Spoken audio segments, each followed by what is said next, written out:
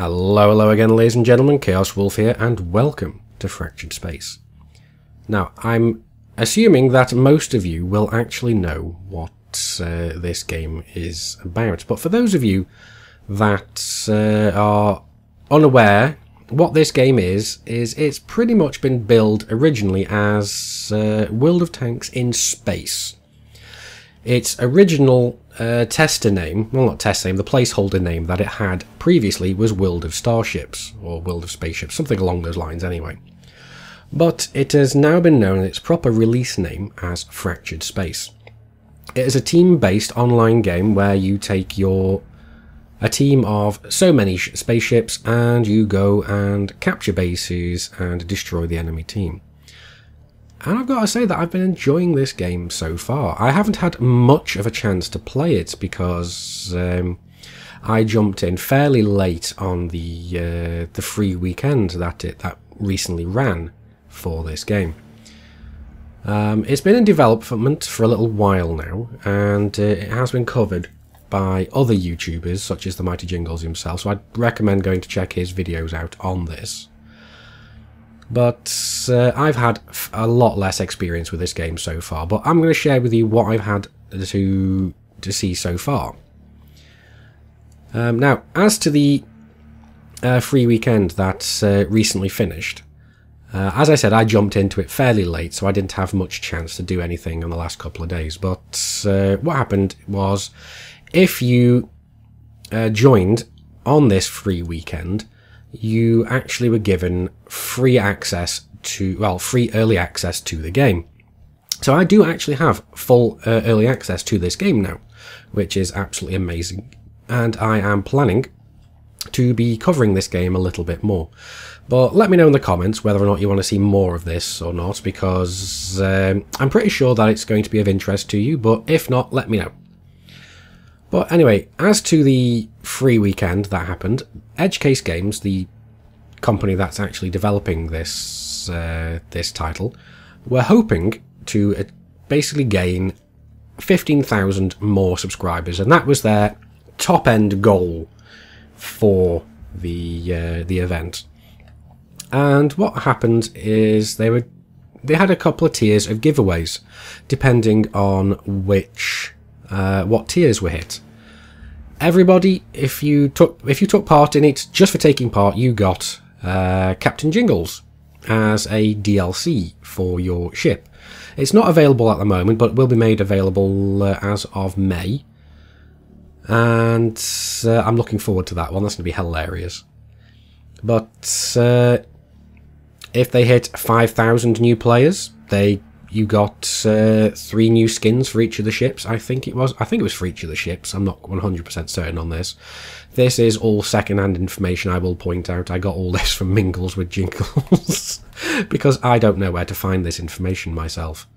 So uh, apologies for uh, ripping off the uh, information there, Mr. Jingles. I do hope you will forgive me. Um, after that, they had the next tier, which was 10,000 uh, 10, new, uh, new players. And for that, you were going to get a Legendary Titan defense ship uh, of the community's choice. I don't know exactly what ship that's going to be or what class of ship that's going to be specifically because, like I said, I haven't played that much in the game yet. I will uh, update this when I actually get a little bit more familiar with the game.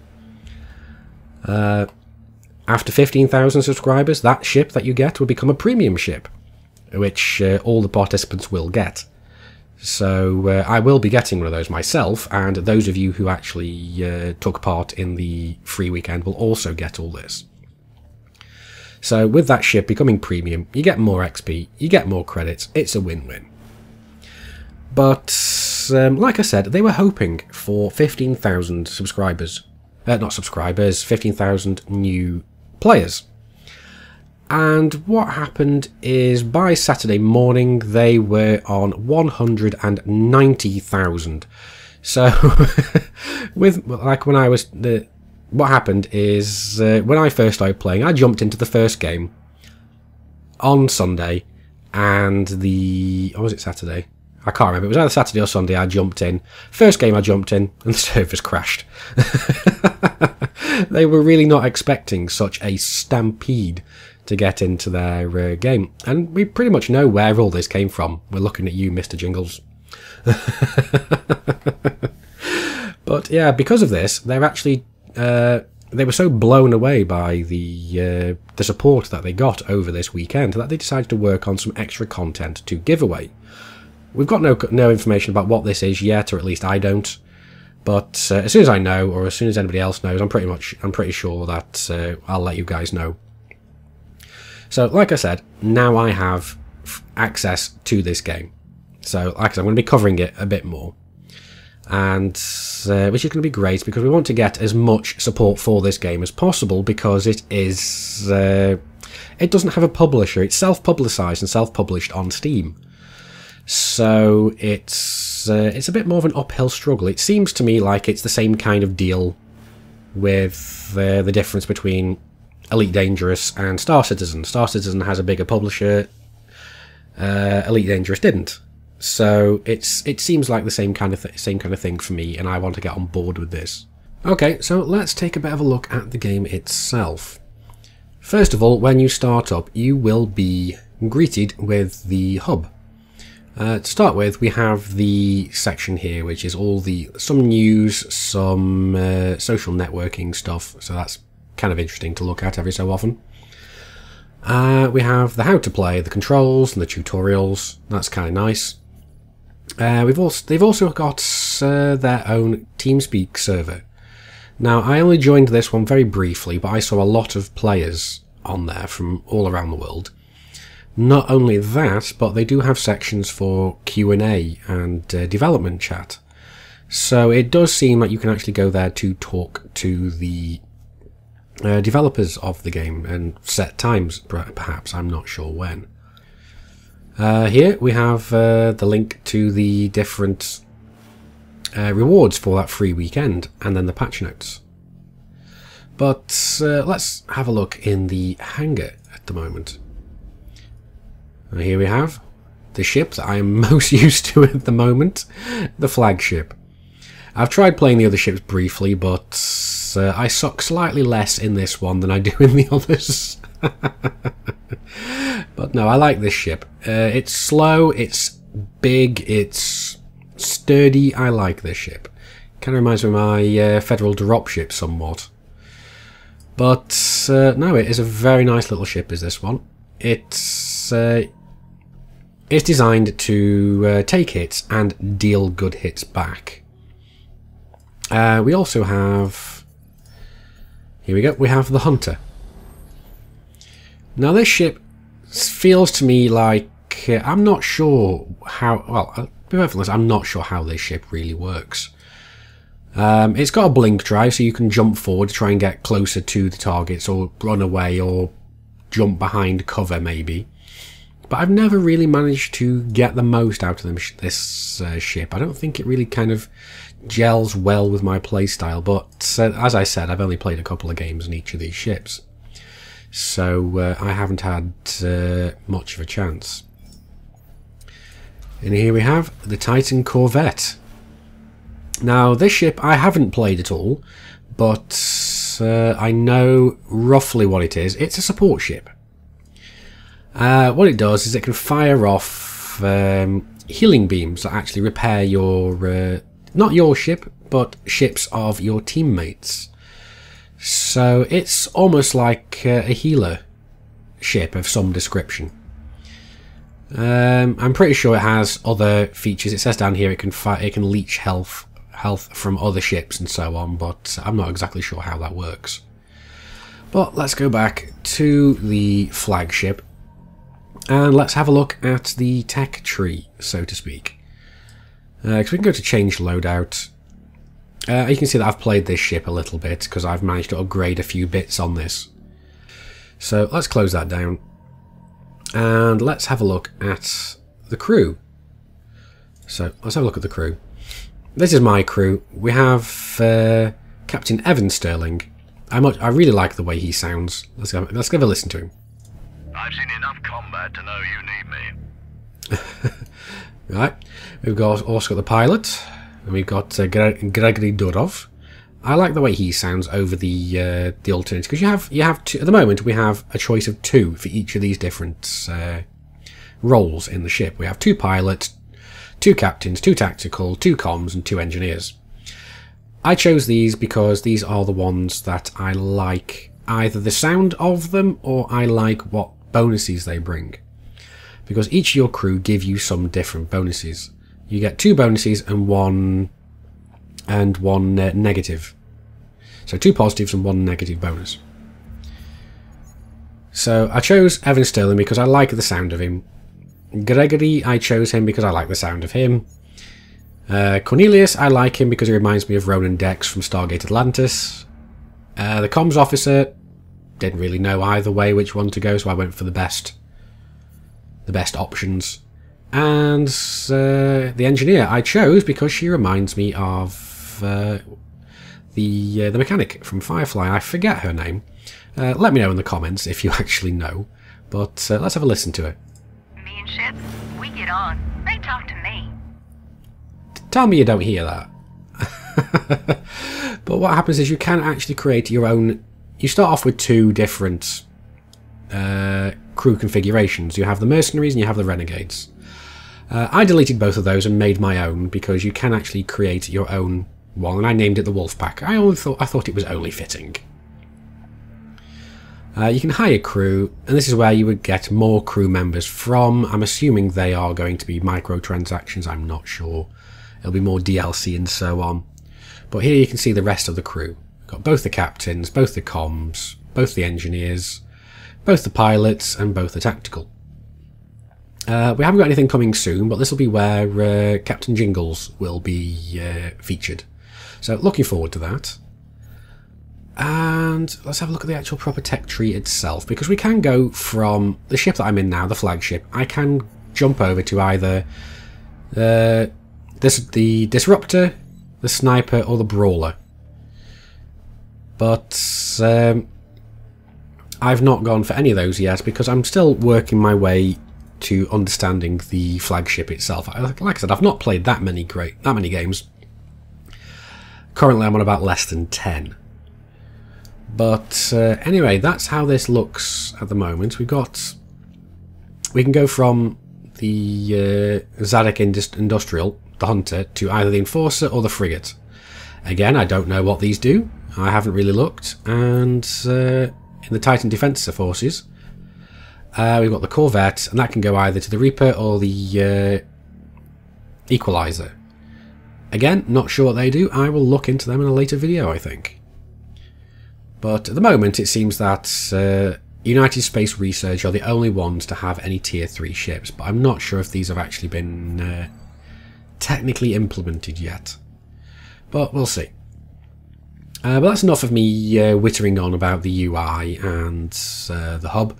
Let's go and have a look at some gameplay. Now, I have only really played any games in the flagship, but uh, let's go and have a look at those. So at the beginning of the match, we jumped, decided to jump over to the alpha side of the map. And uh, just starting off capping one of these uh, little mini bases. Now as you can see we've got two enemy uh, ships moving in. They're the same ship as me. Now we have started engaging now and you can see that that flagship is actually firing its missiles off in my general direction. You see missiles coming in and I'm firing at him but uh, not sure if I'm technically in range or not yet. Well, we're firing at him, we're firing off our missiles and we're using our point defenses and trying to disable him. But there's another mechanic that is in uh, Fractured Space that is not in uh, games like World of Tanks or Elite Dangerous. And what it is, is they have armour. And you can see that my armour's let me down, and I've been basically focused down by the vast majority of the enemy team. So we got destroyed, respawned, and now we're coming back to try and stem the tide. Because as you can see on the mini-maps down the bottom right, that I am here alone against pretty much the entire enemy team. But we've managed to take out one of the enemy flagships, and now I'm focusing on one of the. Uh, not, I can't remember the name of that ship, but it's one of the uh, the blink drive ships, the one that can jump jump around. And there we go. And there he's, he's blinked away.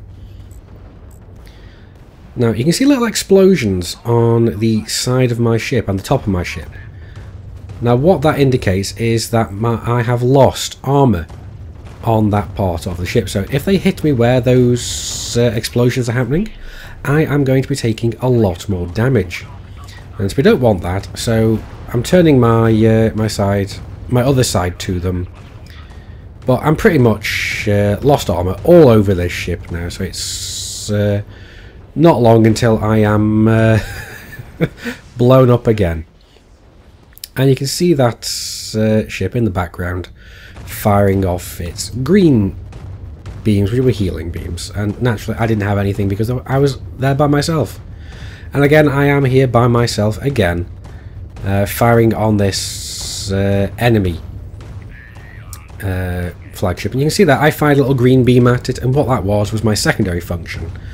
I just disabled its drives for about 5 seconds to let me get a bit closer.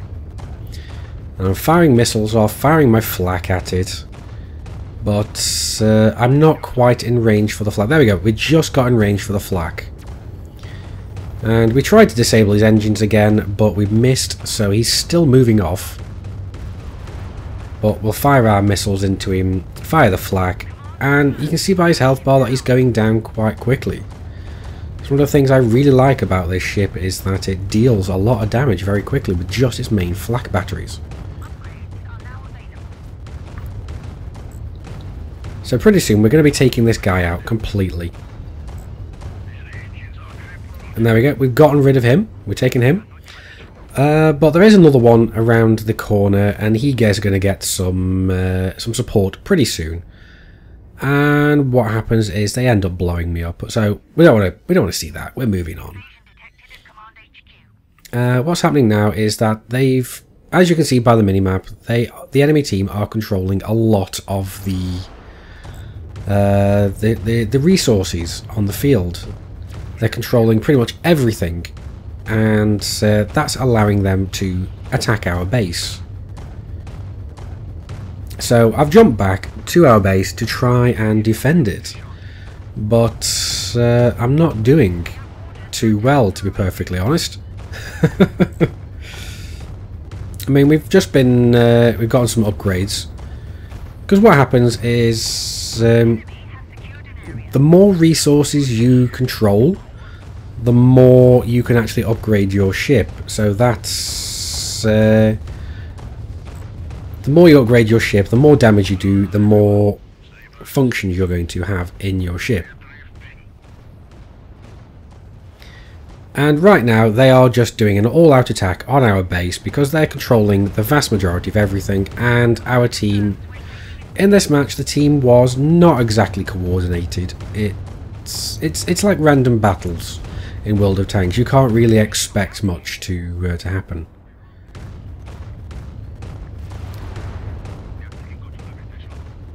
But again, they're still trying to cap our base. They're, they're pretty much succeeded right now. So this is just a losing battle at the moment. But uh, it's been pretty much uh, par for the course of how I've been been playing at the moment. I've not played many matches and I've only won one of them, but sadly I wasn't recording at the time. Now, I would like to uh, claim to be a lot better at this game than I actually am, but sadly I'm not right now. I'm actually quite crap. But uh, I don't expect much more, considering that uh, I have only just started the game.